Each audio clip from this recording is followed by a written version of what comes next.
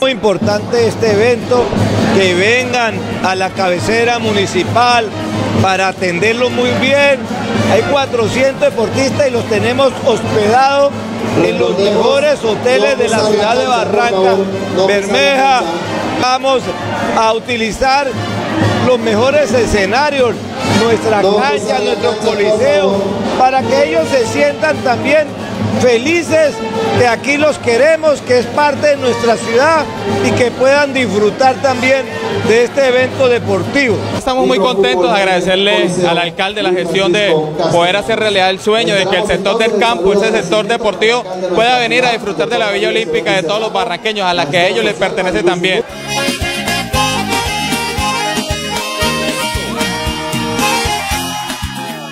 Muy importante, una vez más el señor Darío Echeverry mostrando su, su calidad como representante de todo un municipio, eh,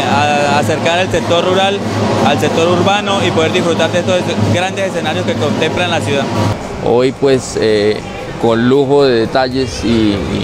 mucha atención a todos los, los amigos del sector rural, pues nos sentimos muy complacidos y muy contentos de esta fiesta del deporte que vincula a todos los corregimientos y que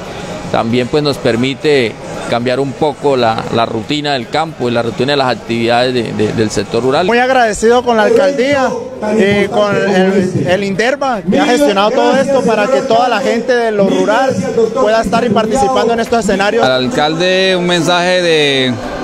gratitud de parte de todo el sector rural, eh, que ojalá Dios lo siga bendiciendo a él, dándole fuerzas y fortaleza para que esto lo siga haciendo cada año, cada vez que él pueda.